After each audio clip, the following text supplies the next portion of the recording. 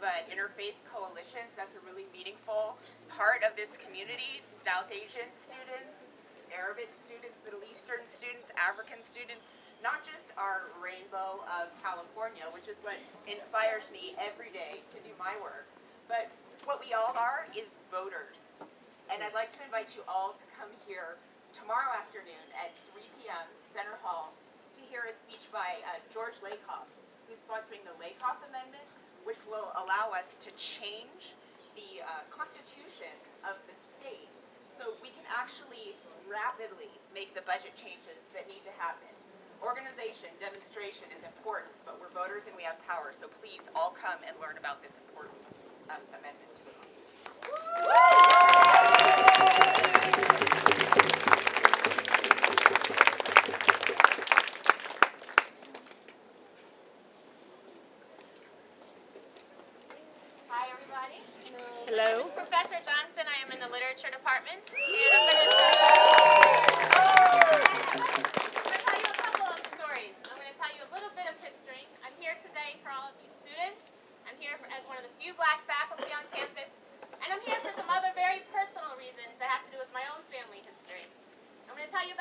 people, and this is actually the first time I've ever said this in public. This is the kind of thing that people don't really talk about in my family. The First person I'm here for today is for my little cousin. His name was Eddie. He died when he was two years old in a public hospital in Columbia, Mississippi. He died of dehydration, basically. He had uh, dehydration. He was two, and they wouldn't treat him in the hospital, in the waiting room, because he was black. I'm here for my grandfather, who went to, and my father, who went to segregated schools their entire lives. There was one black, there was one school that would take colored kids. They're called colored kids. This is in Mississippi. There was one school for them. He never had any dental care because there were no dentists that would treat black student, uh, black children or black adults for that matter. I'm here for all of them who have made my life possible, for all of the people who came before me, who sacrificed so much so that I could go to school.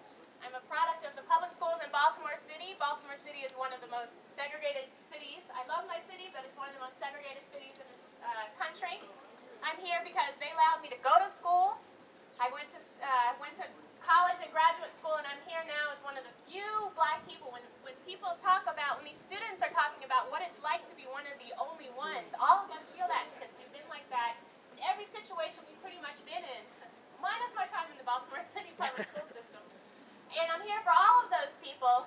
When my father finally, he was kicked out of college. He was in one of the first, well, the first sit-in in Louisiana when he was not much older guys. He was about 20 years old. He was kicked out of school at gunpoint.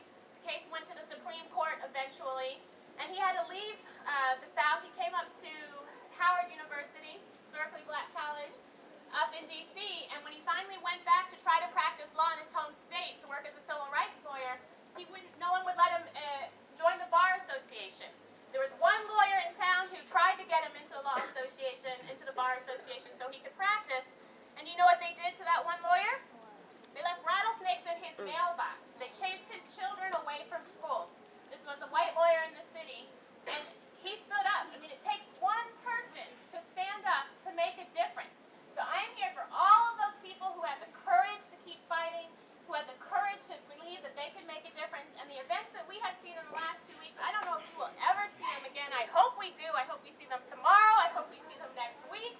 I hope we see them next month because this is going to be a long struggle. And it does my heart so good to see all of you out here with us. And just know that if we keep it up, we will and we can and we already have made a difference at this university. Our university. Thank you all. Please continue coming out.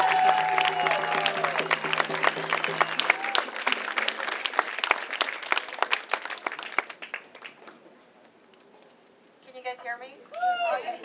So my name's Sunna and this is Mohammed and we're representing the very few science people on this campus. We're from the School of Medicine.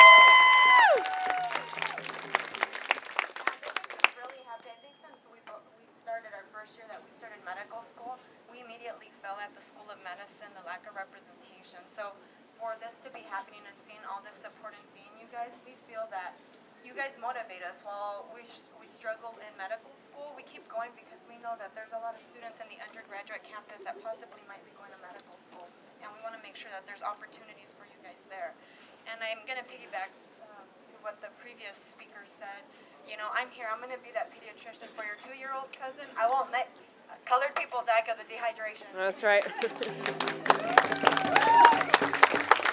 And for Marissa, who's from Oceanside, I grew up in Oceanside. and um, so we we also wrote, or Mohammed wrote a, um, a letter for the chancellor, and we'd like to read it and share it with you guys. Hello, can you hear me? So yeah, we just, just to echo off that, we definitely can testify when it's, that there's deeply rooted racism, like, especially in the healthcare field. I mean, people need to realize that, that it's, it's a, it's an institutional racism. It's deeply, and it's an institutional racism, and it's deeply present in the healthcare field. And that's what people need to realize that it's, when, when racism has gone unchecked for so long, it becomes institutionalized. And, it- and it becomes, it's, it's just as powerful, if not more powerful, because it's more subtle. But here's a, we have a statement from the medical students that I'd like to share with you. To the UCSD community, as future physicians dedicated to public service and medical students at the School of Medicine, we are deeply distressed and outraged over the recent escalating racist events perpetrated by UCSD students targeting the African American community. These types of incidents are not isolated. They have taken place all across colleges in California and the nation. These events have occurred as a result of years of marginalization against underrepresented students across the entire UC system. And it is time that we stop condoning this behavior and the climate that fosters it. The UCSD administration's continued failure to enact recommendations made from their own task force has resulted in embarrassingly low numbers of underrepresented students enrolled at UCSD. Increasing diversity has not been a priority here, and as a result, the student body has become more homogenous, less exposed to other cultures, and less educated about the rich histories and struggles of underrepresented communities in California. It is precisely this lack of interaction with other students of color that has failed to challenge racial stereotypes and has promoted the bigotry behind the recent events. Because of the failure to correct this lack of diversity and appreciation for all communities, underrepresented groups have long felt unaccepted at UCSD. Now, the current situation has escalated into an unwelcoming and hostile environment. We therefore stand in solidarity with the demands of the Black Student Union. We expect that the UCSD administration will take these demands seriously and enact urgent, permanent change. Thank you.